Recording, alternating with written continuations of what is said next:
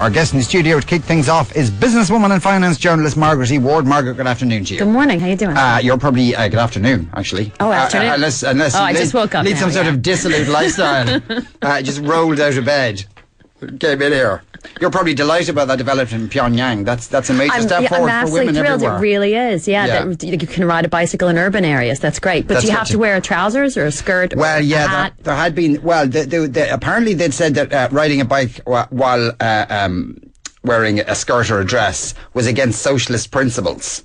That's a new one on me. That's a new one on me, and, I, I, and I, I can't wait to get home to my copy of, of Das Kapital and see what going Marx wrote say, about I'd like to see the black and white photos from that time as well. Yes. You know, Apparently, they only brought him because some uh, a general's daughter was uh, was riding a bike in the 1990s and was hit by a car, so they just decided to ban it for everybody. Why not? Yeah, why go not? for it, That you know. makes, but, but apparently, uh, I'm told he also legalized pizza and women wearing trousers. wow.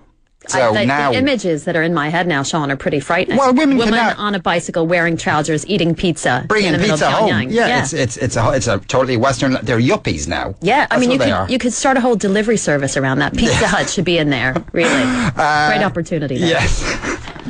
I can't quite see that happening yet. Though the the, the new, uh, uh, whatever his name is, uh, uh, he looks like he enjoys a pizza. The new head of North Korea. He so, might just uh, enjoy um, pizza, and now bicycle delivery girls Yeah. wearing trousers bringing in pizza, 3 a.m. Uh, the, uh, uh, can we start with Julian Assange uh, because uh, your country is persecuting him?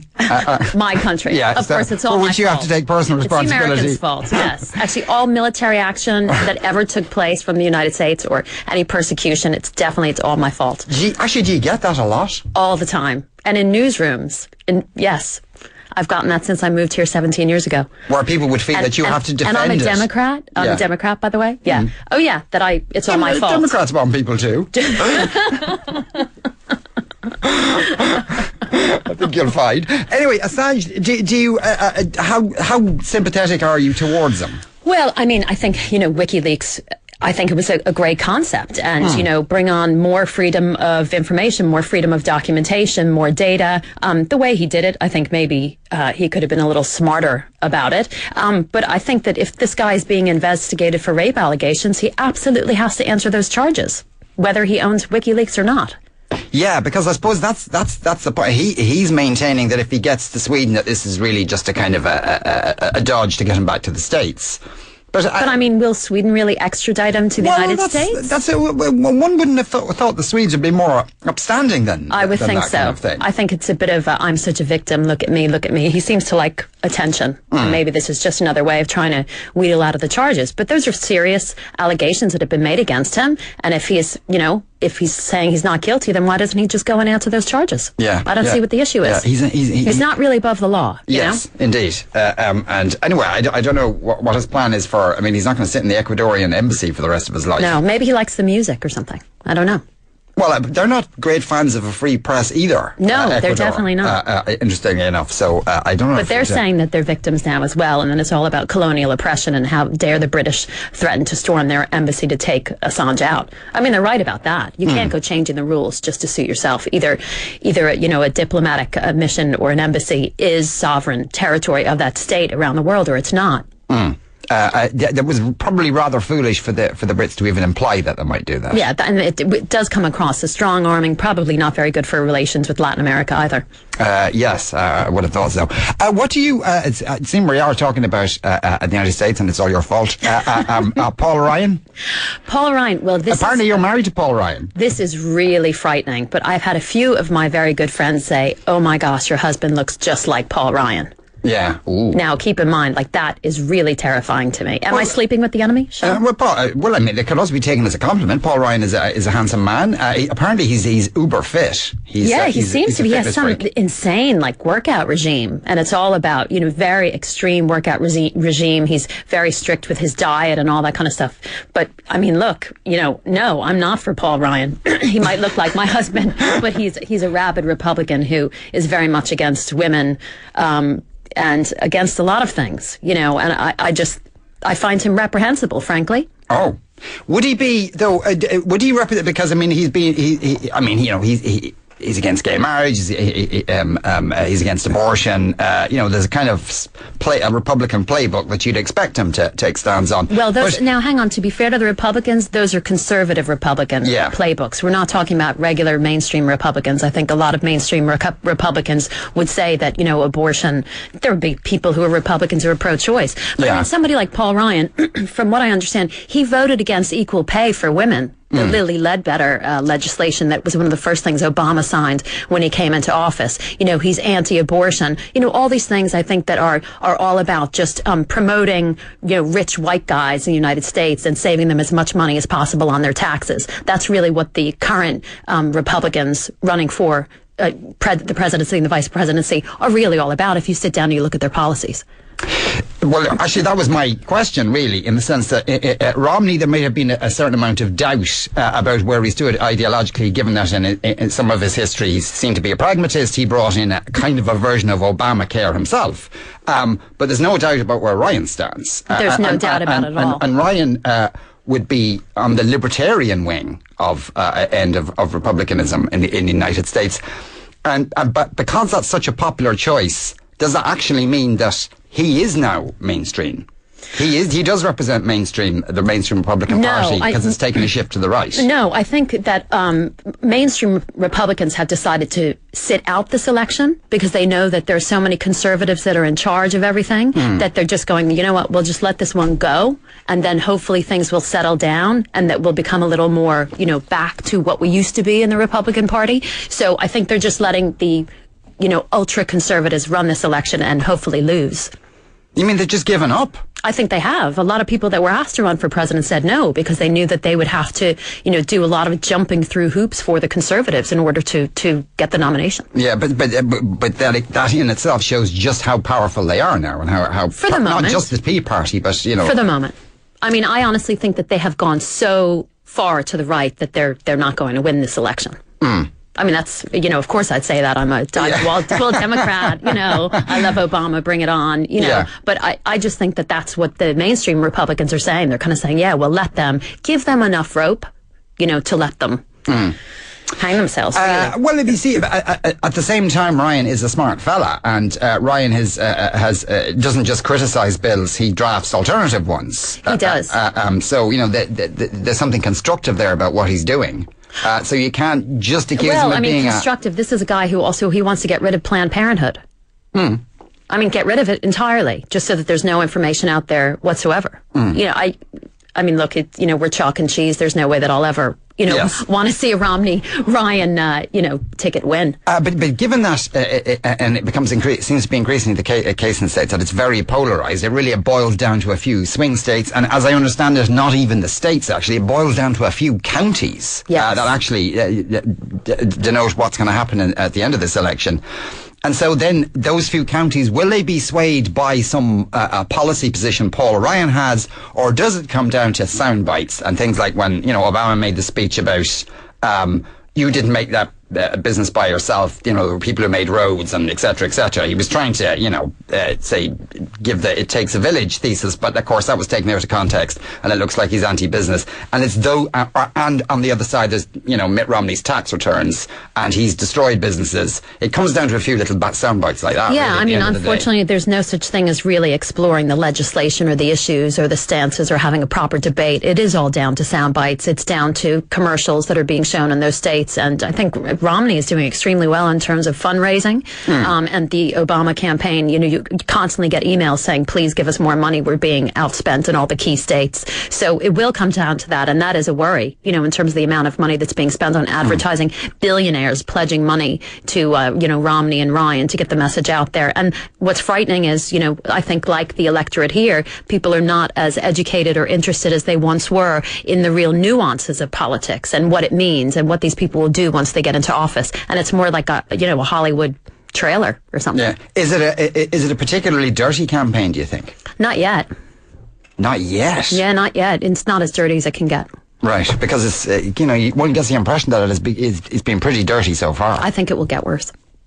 Uh, uh, now, you are a dyed-in-the-wool Democrat. Uh, uh, have you been happy with Obama? Um, not a hundred percent. I think that when he got in there, there, you know, there was a lot of hype and a lot of promises. We were all very optimistic about what he would do, and I think he just stopped talking to people for a while, and that allowed the other side to kind of get ahead. Now, of course, he was obviously so focused on what he could do in terms of policies and what his priorities would be and all that. But um, I think he let a lot of people down by by just stopping that kind of communication. But I think we all sent a, felt a great sense of ownership um, with Obama because of his rhetoric, because of the language that he used. It really made you feel you could, you know, pick up the phone and give Barack a call and have a little chat about, you know, upcoming legislation. And I think that they missed a trick there. You know, they missed something like establishing uh, that intimacy with the American public, and then they just went silent for a while. So, no, I mean, it hasn't been a perfect presidency, but you know, we did expect a lot, and he had a lot to battle against in Yeah. terms of the Republicans and you know the onslaught of the everybody, the Tea Party, and everybody else coming after him, hell for leather. Uh, was he naive? I don't think. uh, no, so, I well, don't so much so. of his so much of his uh, so much of his rhetoric. Uh, I remember seeing him. The first time I ever saw him was actually on the Daily Show with Jon Stewart. Uh, um, which yeah, which you know, and this is not disrespect, not meant as disrespect to the American media. There's many other things I could say disrespectful about the American media, but uh, his interviews are actually very good uh, and, and, and quite insightful. But he came on and he was very, he was a very relaxed Obama. He there was less of that professorial thing that sometimes Yes. he gives off, and he talked about you know how. Uh, uh, uh, Capitol Hill is such a partisan place, and people are playing both sides and adopting positions, and he and he genuinely, obviously, wants to get rid of that. Um, but that's easier said than done. And if you're an experienced politician, you'll know that's easier said than done. He didn't seem to realise that. I think perhaps. maybe he thought he was going to bring people with him on this wave of optimism and change and hope. And, Mm. you know, I mean, keep in mind, you know, Americans are a hugely optimistic people. We really genuinely believe that in our bones that you can make things better, you know, and the United States still has that Kennedy uh, thing going on. And, Yeah. you know, which is ask not what your country can do for you, but what you can do for your country. And I think that Obama really felt that maybe he was the next person who could make that happen. And you saw these little um, initiatives that they do once a year, you know, a community day. So everybody should volunteer in their community, y- you know, and that the things that his wife has been doing as well to just get the American people to focus on working together again as a team and moving towards something that is positive as opposed to the destructive se- things that you see in Washington. So you know what? I don't think he was naive, but I think he was genuinely hopeful that he could be a catalyst for change. And unfortunately, it hasn't turned out like that so Yeah. far. Because uh, you know, and then the, the way this uh, this campaign, it's you know, we're still months away from the actual vote. Uh, but you know, the Obama uh, uh, Obama's PACs and super PACs are fairly nasty at this stage of the game, and it's almost like, well, I've learned a lesson there, uh, uh, and he's gone back to playing by the rules that he didn't really approve of Yeah, the first time. I know. out. I think that's true. I think he was being too nice and he was being ripped to shreds. And then they changed tack and they said, you know what, we've got to start fighting back and start fighting back harder, faster, dirtier. It's not nice. It's not No. a nice thing to watch. But is that, you know, the kind of things they're still saying, like the emails you see going around about how he's Muslim. Yes. you know, and this is taken as fact by a huge percentage of the American people. Yes. You know, and there was something, there was some guy who came out, um, I think it was this week, and he said, uh, he's a, Obama's a Muslim and I hate him. You know, I mean, hello. Incitement to hatred Uh, well, he is. You know, uh, uh, he's a Muslim socialist. Yeah, I mean, this is it. Oh, yeah. And he's Europeanizing, you know, oh, that's so bad. That's being actually, in Europe. you know, and, you know. that's a funny thing. That I, I, I notice. I, I actually uh, sometimes late at night uh, uh, uh, when I can't sleep, uh, I, I watch Fox News to torture myself. I'm sorry. I'm so Uh, sorry. And um, so because on news stories they're not bad. If it's a straightforward news story, you know they're very good. But mother of God, they, I watched the O'Reilly Factor. Now Bill O'Reilly is a, a reptilian, loathsome individual. He wasn't actually presenting it. It was his number two, a black guy. I get don't know his name, Juan something. And it was an hour-long show. He did five minutes on on. Uh, that uh, uh, Biden's gaffe about uh, um, they'll have you all in chains, y'all. Uh, that uh, brilliant one. Oh, lovely. Everybody looks forward to that debate between him and Ryan. But uh, uh, so he said, well, may, there's talk that maybe Hillary might replace Biden on the ticket. So he talked to a Democratic spokesman, roasted him for five minutes, but it was a good kind of Newsnight type interview. Uh, and then the, the, the next of the 55 minutes was interviewing Republicans with kind of, don't you agree with me that Obama's a socialist type questions. It yeah, was- and there's more and more of that. Yeah. You know, I really is and talk about okay, you know, politics is divisive, but the American media has become more and more divisive. I mean, you, now you kind of go, what am I watching? What is mainstream when you're watching American television? Yeah, what is it's it? hard to it's know. very hard to know. Yeah, I, mean, but I think on- the American people are confused as On, well. on Fox, Europe has become. That's a dirty word. That's a dirty word. Europe just means socialist hellhole. yeah, that's right. Uh, anyway. because we live in a socialist. We live in a socialist We? Yeah. We certainly and, and do. I can't ride a bicycle in downtown Dublin. You know? certainly can't. Anyway, uh, we have to take a commercial break. Myself and uh, Margaret have to salute our Führer. Uh, back in a couple of minutes. 53106 is our text number that will cost you 30 cents. You can follow us on Facebook or Twitter or send us an email to afternoon at newstalk.ie. Margaret E. Ward uh, is still with us. We have been talking about um, uh, politics in the United States for the most part. Uh, one texter says, I'm a fan of Obama, but the man won a Nobel Peace Prize before he even did a wet week in office. Uh, yes. Yeah, That was silly. That was silly, yeah. Uh, and he hasn't done that much since then. What about closing down Guantanamo? That's a good point. It's a good point. He did Uh, he promise and He did promise, and uh, well, again, it, it seemed to be so much that he he did look at it, but it seemed to be more difficult than uh, than he'd realised. So well, it's my fault. again, it's my perhaps fault. It's uh, that would be your fault. Yeah, it's you should have told them. Um, uh, Sweden has extradited people to the U.S. in the past. Assange has not been charged with anything, but he is wanted for questioning. He has said he will travel for questioning if he is given diplomatic assurances by Sweden that he won't be extradited. That's interesting. Uh, the uh, and uh, it's okay for well-known stars of the film and music world to host fundraisers for Obama, but business people dare not contribute to a Republican candidate. Talk about hypocrisy, says Laura. I don't know. I, that wasn't really what Margaret was saying. She was just pointing out, as a matter of fact, that that uh, uh, Romney is um, that the Romney campaign is is uh, uh, raising far more money than the Obama campaign at the moment, and uh, unfortunately, in American elections, that tends to be uh, quite an important factor. I would have thought. I'm also told that last week Gwen Stefani hosted a tea party for Michelle Obama. Oh, that's nice. That's very nice. Was that like just to give her money, or she just wanted to give her a cup of tea? Or maybe I- give her some of her Bit of both. like fashion. Didn't she have a fashion label for a while? She's pretty cool, Gwen. Michelle Obama or Gwen, Gwen. Gwen Stefani? All Gwen right. Stefani. Okay. Right. Okay. She could, you know, give her, you know, some of her black biker gloves and stuff that we've seen on videos. That would be cool. That would be, yeah, that would be very helpful. Yeah. Actually, I, I don't know if it'd be exactly the right look. No. Uh, uh, um, Going with the J. Crew for- yeah. outfit and the gardening shovel and the wellies. Uh, no, wh- what work. do you think of the Rose of Tralee competition? Well, as, a, as, a, as an American, uh, uh, in between in between your busy schedule of bombing other countries, uh, um, uh, uh, as as a woman, as a feminist, uh, uh, what do you think? I think my opinion of it has changed. Hmm. Uh, 17 years ago, when I moved here, I thought it was appalling.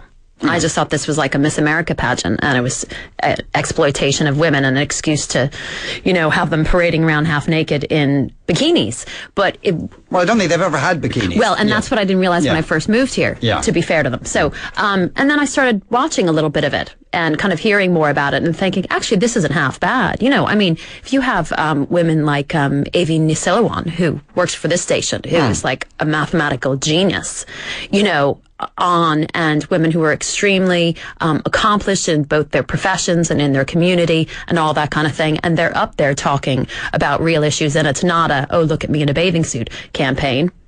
Well, I don't completely object to it. You know, I think it's it, if it opens doors for these women, you know, to do things that they want to do or to help others, then isn't that terrific? I mean, it's a bit, it's old fashioned. Like, come on, Yeah. you know, it is like a lovely, lovely girls' parade. Yeah. But um, I mean, I think the favorite, the Dublin Rose, is a, a PhD uh, student in physics. Like, fantastic. You know, go for it. I was actually uh, when I first came here, a cousin suggested that I enter the Rose of Tralee, and I was extremely insulted, extremely insulted. But now, But now? but well, now I'm way too old. And I would never have done it in the first place. What would your special But, um, talent be? You don't want to know, Sean. Oh, I do wanna You know. don't No, want to know. You definitely don't want to know. Oh, I do No. wanna know. It's yelling at Fianna Fáil politicians for bankrupting the country. That's my special skill. But I think we all have that You're special right. I skill, don't want we? to know. Yeah, you didn't no, want to know. No, that wouldn't really. No, really. But you see, but, but okay, they're they're they're all smart and accomplished women. If Yeah, they were smart and accomplished women in, in bathing suits, would it make that much of a difference? Yes, I mean that's complete objectification of people. But so this is just mild Like, like for example, like what? Well, what if we had um, political candidates here had to parade around in, um, you know, speedos for election? what do you think of that? Would that be great? that would be quite funny. That'd be quite frightening when you think about it. and, and completely, yes, disgusting as well. No, but the, but, but the point is, it's still you still have a competition for women where one of them has to be better than the other. Uh, uh, and whilst okay, they're not in they're not in bathing suits. Their appearance. Why don't we have a debating competition for women? Well, yeah. Why do we have a specific competition for women? Like there, there isn't a, a there isn't a bloke of Tralee competition. uh, the, the, the thing is, is like, oh look, let's see what the girls can do. Oh look, she stands up on her hind legs and everything. Isn't she fantastic? Let's check her teeth. Isn't it a, still a wee bit patronising of women because they've got their own little? Oh look what they can do. It is a bit, like I said, it's old fashioned. You know, it is of its time. It is of its era. I wouldn't shut it down just because, oh, well, maybe. Yeah. You know, I- I think like a lot of things in life, you have to go, well, look, it has its own history and culture and a lot of good has come from it and it really helps that community. I mean, I'm sure it's a huge business boost for them. Yeah. Um, I think it is a little bit outdated, a little bit old fashioned. But, you know, at the same time, isn't it? It's nice too. And I, I think it makes us all feel good. And you're learning about all these amazing young women. Mm. And you know me, I want to see as many amazing women out there as possible. You know, Uh, it- it more does- involved in public life. It, it does seem to have a, a, a be much more special for immigrants. Uh, almost like families Yeah. come home who might be generations away from Ireland, but they come home as a way to kind of say, look what we did. Yeah, and I, again, that's something that I didn't understand, you Mm. know, up until say a few years ago when I really started paying attention. And even when you look at the photographs in the paper now, I think we have what the Dublin Rose and the Cork Rose, and then the rest of them are all from all over the world. Yeah. that's what some of the photographs seem like. So it's nice. And look, if it's if it's a way of generating publicity for Ireland and to bring immigrants back to Ireland, spending their money, yeah, I'm all for it. Bring it on. Margaret, lovely to see you. Thanks for coming in to us. Margaret E. Ward.